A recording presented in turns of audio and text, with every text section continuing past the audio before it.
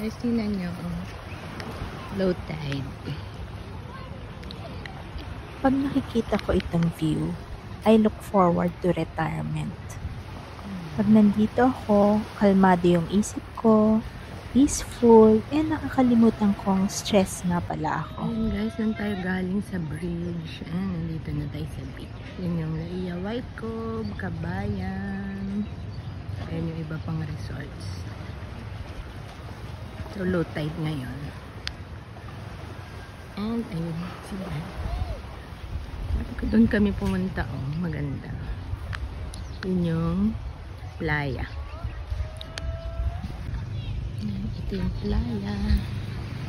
Playa Laia. And then, yung sunod ay yung Club Laia. Dahilan lang siguro talaga namin na kaya kami pumupunta dito ay may mga kailangan kami ayusin. Pero ang totoo, may enjoy talaga namin yung time namin dito. Yung iisipin mo lang kung anong lulutuin mo for breakfast, anong bibili natin sa talikapa, at ano ang ating lunch. Sabi nga nila, life is short. Di natin alam anong mangyayari bukas. Kaya if you work hard, play harder. Pag pagod ka na, magpahinga lang. And then work ulit. Kagaling namin dito, pumunta kami sa Tulipapa and we bought some fish. Then, umuwi na, nag-install ng blinds, kumain ng lunch, and nakatulog ako ng 2 hours.